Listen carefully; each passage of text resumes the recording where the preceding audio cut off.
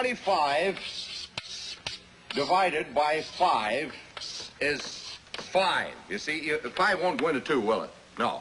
But 5 goes into 25 five times, you see? No, you're wrong, Billy. Now, now, I'm a pretty good mathematician.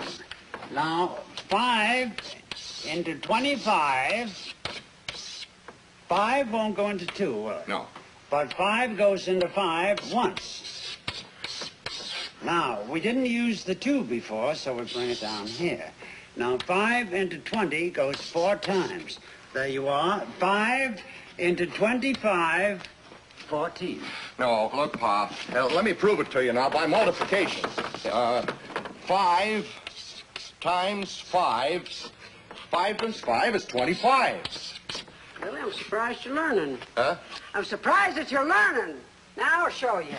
Five times 14 is 25. Five times four is 20.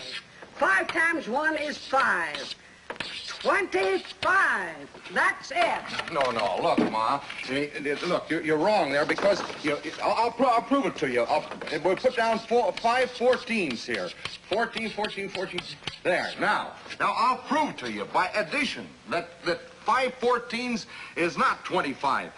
Four, eight, 12, 16, 20. 21, 22, 23, 24, 25. There you are. Better brush up, Billy. I don't want to see you boys cheated.